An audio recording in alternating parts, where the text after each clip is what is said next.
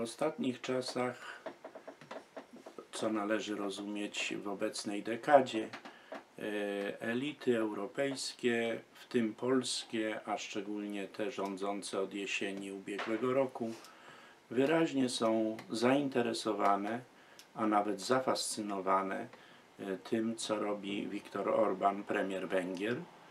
No i Węgry stały się takim punktem odniesienia, dla niektórych nawet modelem, co jest na swój sposób fascynujące, bo mówimy przecież o kraju niewielkim, niespełna 10-milionowym, em, a o którym praktycznie codziennie w Europie się mówi. Y, O co chodzi? Y, Na Węgrzech w 2010 roku w kwietniu y, doszła do władzy koalicja, o czym się mało mm, pamięta czy wie, złożona z partii o nazwie Fidesz, czyli y, takiej partii obywatelskiej i ona jest wspierana przez kadłubowe y, ugrupowanie chrześcijańsko-demokratyczne, o którym się nie wie i chyba słusznie. Zresztą o obydwu tych partiach nie trzeba za dużo wiedzieć, bo już kiedy mm, Fidesz był w opozycji przez poprzednie 8 lat, to mm, było jasne, że bez Viktora Orbana, charyzmatycznego przywódcy i lidera y, tej partii i tego ugrupowania nie ma.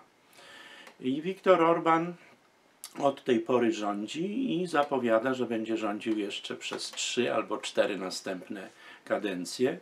E, Rzeczywiście opozycja jest rozproszona, słaba, e, zatomizowana. Poza jedną opozycją, której nie ma paraleli na polskiej scenie politycznej, mianowicie na Węgrzech istnieje jeszcze partia Jobbik, e, skrajnie prawicowa, nawet e, postfaszystowska, można powiedzieć brutalnie, e, no, która w tej chwili niestety jest drugą największą siłą partyjną na węgierskiej scenie politycznej.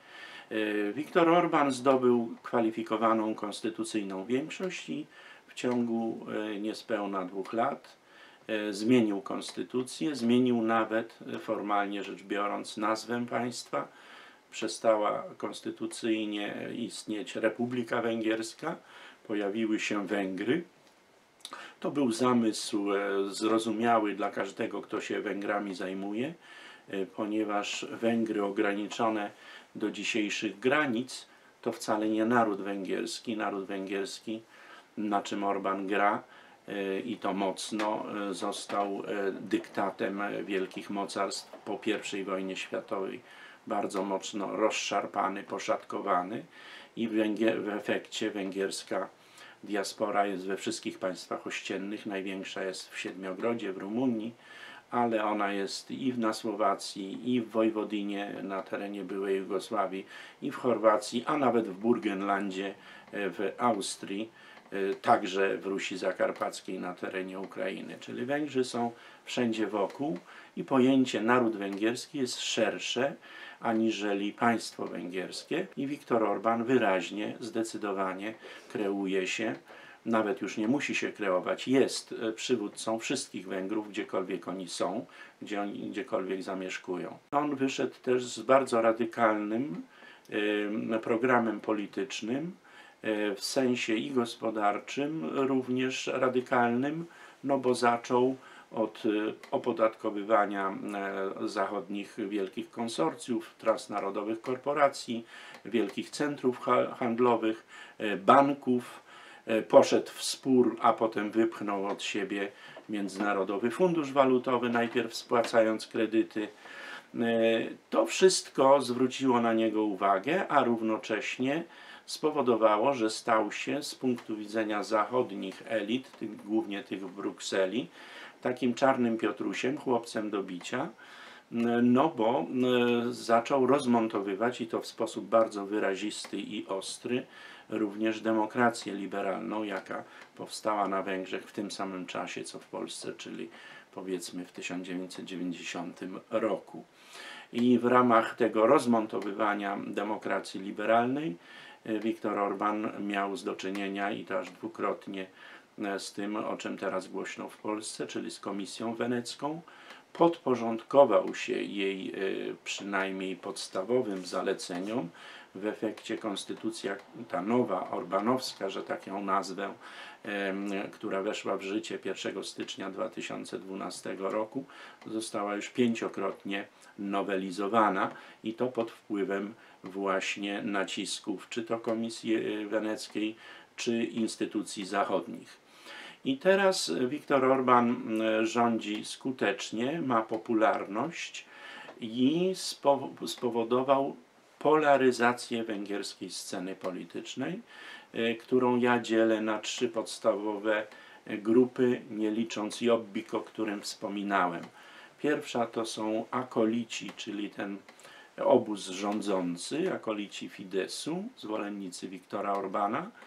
To jest e, liczba szacowana na nieco powyżej 2 milionów osób, którzy po prostu żyją z tego, że ich przywódca ma władzę.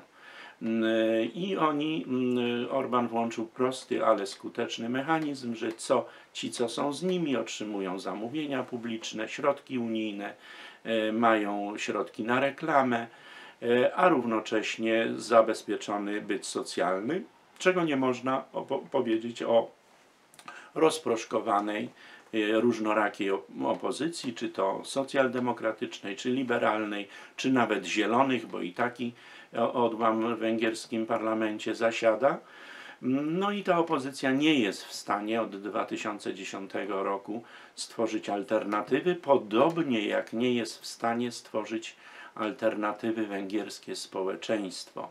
Ono kilkakrotnie w mniejszym czy większym stopniu występowało na ulicę, były demonstracje, ale e, też nie przyniosły jakiejś e, jakościowej zmiany, dlatego że obok tych dwóch obozów, o których wspomniałem, czyli obóz rządzący, opozycja, jest obóz największy politycznie i to jest rzecz w Polsce raczej nieznana, a na pewno nieuświadamiana. Trzecim obozem jest obóz apatii, to znaczy ci ludzie, którzy, którym jest absolutnie wszystko jedno, kto rządzi. E, wielu uważa, że poprzedni kradli, dzisiaj kradną i e, żadnej nadziei na zmianę, czy dobrą zmianę używając dzisiaj pożytecznego i użytecznego języka na Węgrzech nie ma. I to jest zjawisko poważne, ponieważ w tym 10-milionowym narodzie, jeśli mówimy o granicach e, państwowych, no jest to niespełna, niektórzy mówią, że pełno, y, jest pełen milion y, ludności nazywanej romską, y, potocznie cygańską i to już samo w sobie jest wielkim wyzwaniem, ale sami Węgrzy ocenia się, że 40%, niektórzy mówią nawet o połowie społeczeństwa, że żyje na granicy, a nawet poniżej minimum socjalnego. I to jest zjawisko którego my nie rozumiemy. I teraz jeśli chodzi o Polskę, powiedziałem, że Viktor Orban podzielił czy e, zatomizował węgierskie społeczeństwo, e, również w następstwie dokonał takiego podziału w krajach, które Węgry obserwują z zewnątrz, w tym szczególnie w Polsce, gdzie no, do języka chyba potocznego weszło E, powiedzenie, że będzie Budapeszt w Warszawie. No, otóż e, my mamy w Polsce zagorzałych zwolenników, miłośników Wiktora Orbana, którzy wręcz postawiliby mu pomnik, a nawet chcieliby go za własnego premiera. Może być to premier własny albo osi Budapeszt-Warszawa. I mamy równie zagorzałych, nieprzejednanych przeciwników Wiktora Orbana. Problem dla mnie, mm, który całe życie dorosłe z Węgrami jest związany, często tam jeździ, zna język i realia, e, jest to, że ani jeden e, z tych obozów, i zwolennicy, i przeciwnicy, zbyt wiele o Wiktorze Orbanie i o węgierskich realiach nie wiedzą. No i w efekcie poruszamy się w sferze stereotypów. Przynajmniej tak było do roku ubiegłego, 2015, kiedy w ślad za podziałami na scenie węgierskiej, podziałami związanymi z oceną rządów Orbana na scenie polskiej, Viktor Orban zaczął dzielić scenę europejską i wykreował się e, dosłownie na jednego z ważniejszych liderów e, wewnątrz Unii Europejskiej w związku z kryzysem migrantów i uchodźców. Przypominamy sobie dramatyczne sceny z lata z sierpnia ubiegłego roku 2015 z dworca Keleti. Wtedy dopiero tak naprawdę polskie media się tym zainteresowały, mimo że problem nabrzmiewał i był od dawna. I y, szczególnym zaskoczeniem, dla niektórych szokiem, była decyzja Viktora Orbana, że będzie mu do, budował zasieki, mury i płoty na granicy z Serbią. Zrobił to. No i podzielił Europę i w, odpowiedzi na to pani kanclerz Merkel, było to 5 września 2015 roku, e, zastosowała rozwiązanie zupełnie odwrotne, mianowicie Willkommen Politik, czyli politykę przyjmowania uchodźców. Ten e, pad, czyli te dwie skrajne opcje, powiedzmy tak, a więc jedna pani kanclerz Merkel, druga coraz bardziej asertywnego, coraz bardziej przekonanego do swoich racji Viktora Orbana, wyraźnie rozdziera Unię Europejską. Uchodźcom przez ten niespełna przecież jeszcze rok udało się wyraźnie spolaryzować scenę europejską. Oni grożą jedności i spójności nie tylko strefy Schengen, ale chyba i Unii Europejskiej, bo nie, ponieważ już można stwierdzić, że rozbili jedną z podstawowych wartości, na których Unia Europejska była budowana, czyli zasadę solidarności. I w tym kontekście Viktor Orban dosłownie e, dwa dni przed e, tym naszym nagraniem miał doroczne wystąpienie oceniające politykę swego rządu w minionym roku, które było chyba najbardziej ostre, jakie w jego wykonaniu znam. On sobie pozwolił jako premier państwa członkowskiego Unii Europejskiej porównać dzisiejszą Brukselę z dawną Moskwą, z dzisiejszą Moskwą by nie porównał, bo ma swoje interesy z Władimirem Putinem, o czym wiemy. Natomiast używał takich pojęć jak, tu dosłownie cytuję, nie będą obce gangi używały aktów przemocy względem naszych kobiet i dziewczyn. No więc to są słowa nieprzebierające w środkach, no i co więcej zapowiedział, i to już jest w tej chwili realizowane, budowę następnego płotu, muru czy zasieków, tym razem na granicy z Rumunią, a nie wykluczył, że w ślad za tym pójdzie jeszcze takie rozwiązanie na granicy ze Słowenią i Ukrainą. No i ja, wydaje mi się, że jeśli ta polityka Wiktora Orbana byłaby doprowadzona do końca, to już można mówić wręcz o strategii Wiktora Orbana, to ona moim zdaniem grozi, że ta dotychczas otwarta, liberalna i solidarna Europa zamieni się w zamknięte osiedla, strzeżone płotami, zasiekami i jeszcze pomiędzy nimi będą chodziły patrole, może z psami i szukały obcego, którego należy złapać i gdzieś do jakiegoś ośrodka albo i dalej wsadzić.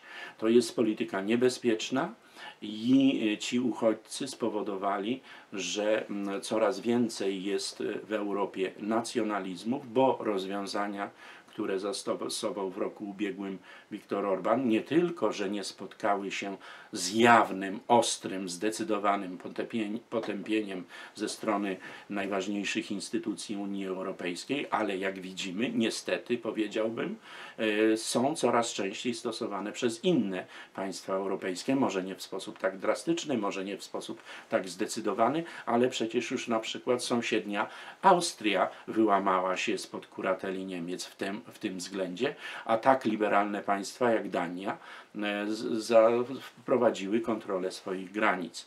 Więc Viktor Orban e, w sensie e, swoim własnym czuje się zwycięzcą, że jego racje są na wierzchu, ale ja zawsze patrzyłem na niego z dużą dozą jednak sceptycyzmu, bo w tych swoich działaniach zawsze sięgał po, po grał na nucie powiedzmy nacjonalistycznej, nie stronił od demagogii, populizmu. E, To robił i robi względem tych uchodźców. To mu bardzo pomogło wzmocnić swoją pozycję na scenie wewnętrznej, a jak widzimy, wzmocniło go też międzynarodowo, ale w dalekiej perspektywie wydaje mi się, że scenariusz y, związany z e, mm, wprowadzeniem polityki Wiktora, tej polityki Wiktora Orbana, e, no, może grozić rozpadem i poważnym kryzysem w Unii Europejskiej. Co będzie dalej, zobaczymy. Niewątpliwie Viktor Orban był, jest i w przewidywalnej przyszłości będzie dla nas wszystkich, również tu w Warszawie, punktem odniesienia. Z najlepszymi pozdrowieniami dla słuchaczy, oglądaczy i czytaczy Otoko Klub.